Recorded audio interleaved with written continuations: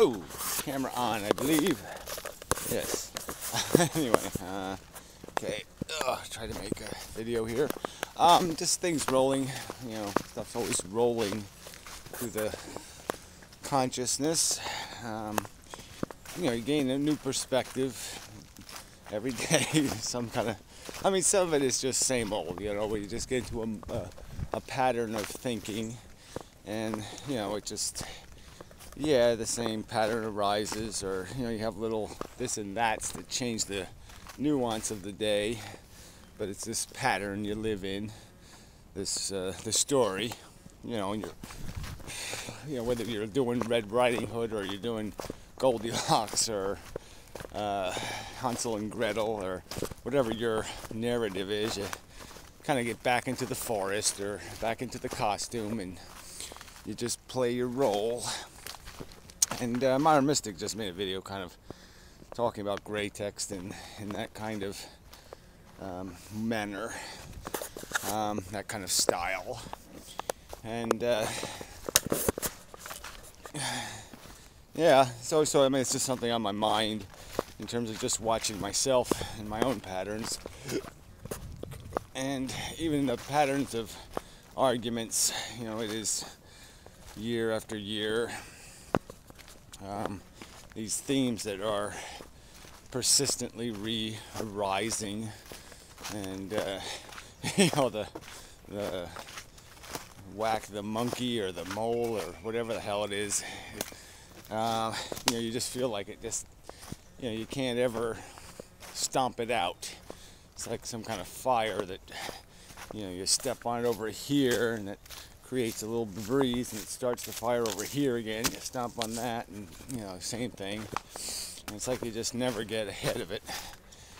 Uh, you always just struggle, struggle, struggle, struggle. yeah, so anyway, that's probably enough said right there. It's, uh, oh, why, do I, why am I bothering? Uh, there seems to be some mission statement that compels me some kind of something uh, inside. So anyway, I'll deal with Antikontavad's theme song, which is uh, "Science is a religion." That's basically his argument. Um, he doesn't see a substantial difference between the credibility of the conclusions people drew about reality you know, 2,000 years ago, the information they had to draw those conclusions two or three or 4,000 years ago, and the information we have to draw conclusions about reality. He thinks it's all uh, just some sort of, you know, uh, you know, that it's all ignorant projection, and there is no such thing as intelligent um, interjection. Uh, it's just, um, you know, this theme does rise. I mean, there's people who are not, uh, you know, they're atheists, but that they're absolutely nothing else as a replacement. So they're anti theism and pro nothing. So it's this, you know, undefined philosophy is somehow supposed to be superior to a wrong philosophy. And to me, it's the it's the ultimate wrong philosophy. No conclusion is a guaranteed wrong answer, in my opinion. There's no way no opinion can be right. It just it can't. It can't be correct to believe nothing, to believe in nothing, to understand nothing. Um, so, I mean, atheism, uh, that's that myopic, uh, that um, like only half of the word, only half of the sentence, only half of the definition uh, isn't worth anything. There's no point in being anti if you're not pro something. Uh, it just isn't it just ain't going to work that way. Uh, in most cases, anyway.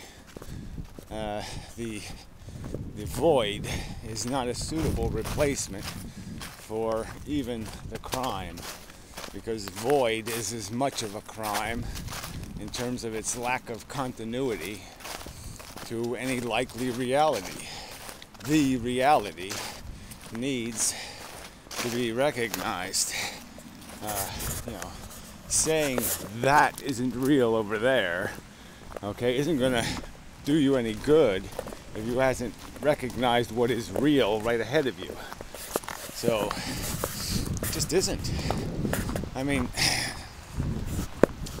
you have to invest to play the game. You can't just say, I won't buy that bad stock, and then you don't buy any good stock. That's not gonna get you anywhere. I mean, it'll get you out of being the the as, as obvious a loser, um, but it's not gonna. Your money's not gonna do anything. You're, you're not gonna be able to keep it. Let's say by the rules of the game, you have to invest in something. Uh, it's just going to be the nature of how the game is played. Uh, you don't get to sit on the sidelines and pretend the truth will find you, or that somehow, uh, by magic, you'll perform, uh, uh you know, the, the, the talent without practice. Uh, there is a skill level to being productive and useful and functional, and you need to understand the game to play the game well. And to say there is no game, which is Antikontovad's game, uh, basically, uh, you know, to say there is no need to acquire uh, skill, uh, to invest in nothing, uh, is just nonsense. And the truth is, that's not really what he's living. He's selling that, but he's not living that. And uh, so I'll, I'll make a, an accusation of kind of dis- uh, dishonesty, because I think he truly does. I think he is a neo Darwinist. I think he does see purpose in fighting for the sake of fighting, in replication for the sake of replication, in dominance for the sake of dominance, in brutality for the sake of brutality. He is a he is owned uh, by a notion of some sort of uh, positive to be gleaned out of conflict, and uh, that there somehow it's a progressive battle. That if all we get out of it is a third ear, you know, or an eye where our belly button is, or some other bullshit advance, like aren't we cool? Uh, we've gained an, an extra inch or an extra pound, uh, you know, a third foot. Uh, that somehow, no matter what it costs, it's worth it because aren't we interesting? As we have three feet. Uh, you know, and we're not doing any of that anyway. There's no real prospect that that's where the human race is heading, is to any uh, positive mutation. you know, there's going to be mutations, they're not going to be pretty. They're going to be uh, insectoid style functionality not uh, beautiful or graceful or elegant or any of that crap. And again, even if they were, uh, so what? Uh, it doesn't mean anything. It doesn't add up to anything. Uh, it's still just a, a grist mill. Still just grinding it all up and packaging it, you know, as a blanket, you know. uh, you know, grind up all the miseries and make it into a blanket to comfort the miserable. Uh, it's uh, it's really just all quite insidious, and most especially in the hands of people who invest themselves in uh, notions of momentum alone. Uh, the ball is rolling, keep it rolling. Let's all be good little Sisyphus girls and boys. Just push our boulders and uh, be myopic and uh, insult our intelligence as thoroughly as possible. I mean, really, no point in being smart enough to avoid the dodge of three card Monty if you're going to fall for any other pyramid scheme that comes down the line. Uh, you know, if you're to be an even bigger sucker when the next crook comes along and buy the Brooklyn Bridge or something, you know, yes, you may, you know, you, just isn't any point in it. No point in being uh, clever by a half or by two thirds or by anything short of doing it right. So there, there really is only two choices get it right or fuck up. And uh, not trying to even guess at the truth is just a guarantee that you're not going to find it. you're not going to you're not going to be playing the game required to suit the truth, to perfect your performance. Again, if the if the game is archery and uh, you're playing bouncy ball, yeah, you're not going to be you're not going to be doing what needs to get done to play the game good. Uh, it's all going to be just a bunch of fail, fail, fail, fail. Uh, you think you're winning. I bounce the ball. Well, bouncing the ball ain't the game. It's not the measure. And I can, I feel quite confident that the game we're playing isn't nihilism. That is not the game. The game isn't uh, you know, uh, the DNA says so, or the DNA knows so. That's not the game. Uh, the game requires a little more elegance than that.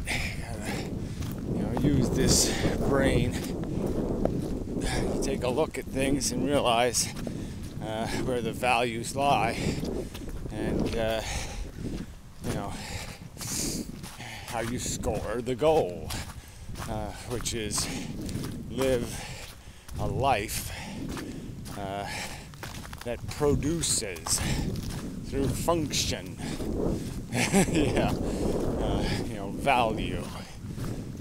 Yeah, I mean, not only just minimal efficiency, but maximum productivity. I mean, that's that's the game.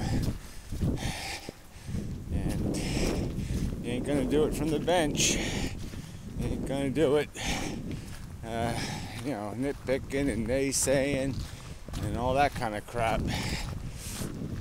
That ain't playing a good game. That ain't playing any game at all. Oh, excuse me. Uh, after kind of cold and uh,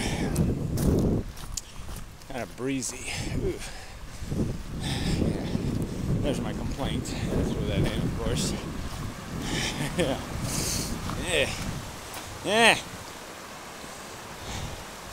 So anyway, alright, water. Shouldn't have my hand in my pocket in case I have to use my balancing skills. So, will it be uh, well, I think I can have more of a conclusion. yeah, fingers cold. Should have worn my gloves. Uh, anyway, brittle. Off. Um, yeah. So again, I'm just I think it's a reasonable person can understand that uh, the odds of none of it mattering really are. Uh, I mean, I think, I think it's really quite silly uh, to look at the world with all this stuff in it and to say there's no distinction between turning left and turning right, that there's no better game to play. Uh, gee, I think that is just silly. Uh, I think it's quite obviously a game of complex nuance, and you have to commit to who you're going to play for. Are you on Logic's team? You're on God's team? You're on Babel's team? On Liar's team? Bullshitter's team? Fuckhead's team? Fucktard's team? Who are you playing for? What are you playing for? You're playing to win? Or you're playing to be an asshole? Close the gate on the pool. Avoid any legal consequence. Gate's almost. Have to fix that in the spring. Anyway. So now I think I'm done. And such. So forth and whatnot. Clean the feet. See you later.